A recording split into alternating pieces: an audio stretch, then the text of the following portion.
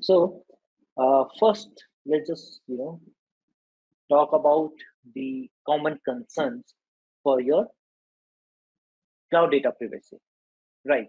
So the legal issues that whatever is going to come up is always going to be related that you know most of the time is because you are not in the control of the physical you know environment. Now, if you are using the cloud, you will be storing might be some of your personal data, might be you're using it to host a service where your customers you know private data is being stored.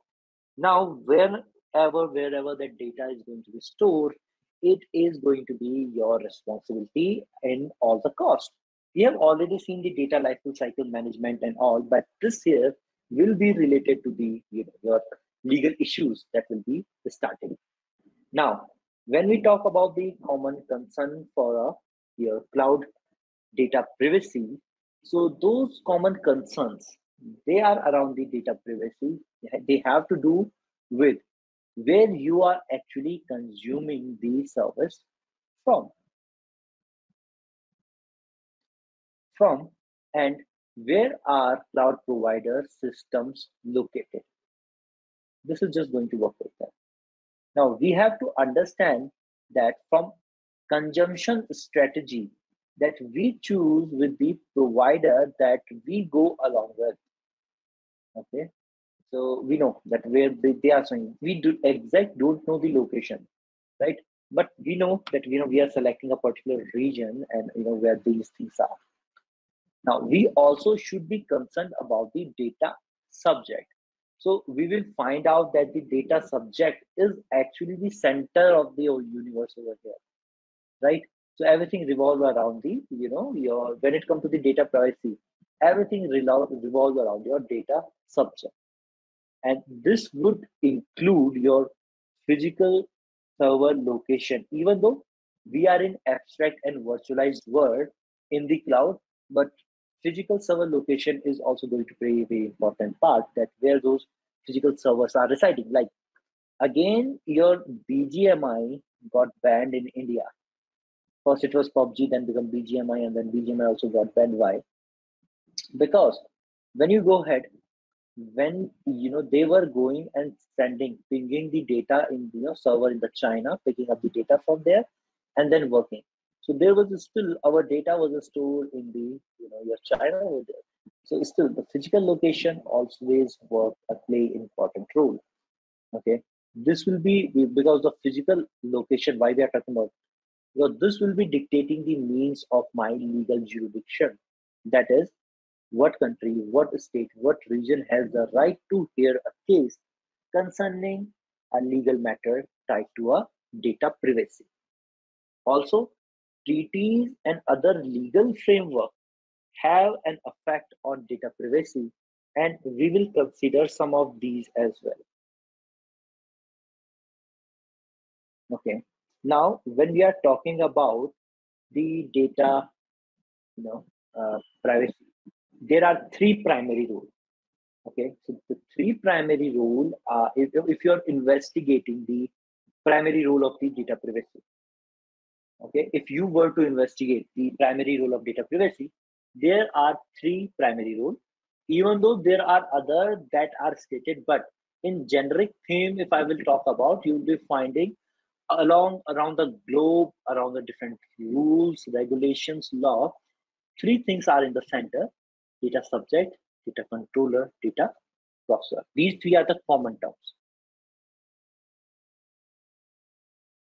Now, what will be the data subject, you know, which we were calling the center of the universe. It is the one, you know, about which you are, you know, info gathering that information. It is, let's say that I created one account for you, others, your account with the Azure. So you are the data subject. Your data your car detail has gone up there right? So this one is who can be identified directly or indirectly by reference to any identification number okay?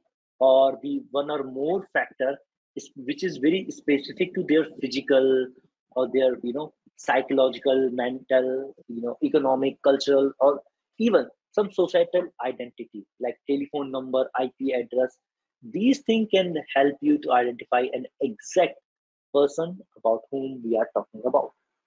Now, the data controller is the natural or legal person, the public authority, the agency, or any other body that alone or jointly with others determine the purpose and mean of processing the personal data. Means your organization in this particular case you know i'll be giving you a very good example for this one.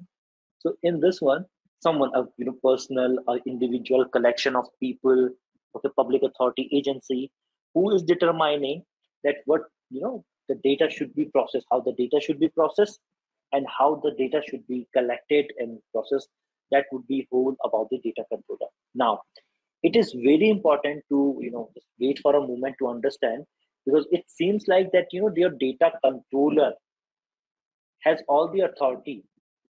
They only got those authority by the mean of consent that what we were talking about consent. And then all that they choose to do with the data is determined by the national community laws or regulation. So the data controllers will be the body who will be you know determining the purpose and mean of processing the personal data what to do how to do. But they will be doing on the basis of what?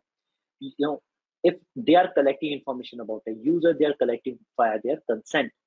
And if they have to process that data they'll be doing it according to the community laws or the regulation. And then there come the data processor. So this is working along with a processor. And typically consumer that the service of that processor in order to get the controlling done right? These are the very official kind of definition. But if we talk about the very simple thing like when you are watching a netflix i think this is a very common example that most of the people they give okay? So what happen is you know i go and i register myself over there that i am a user this is my card detail and all those things. Now what I am, right? Let's say that who is Rishabh? Rishabh is what? Rishabh is the data subject over there. Now they have you know substance of different amount of your PII, credit card name, address.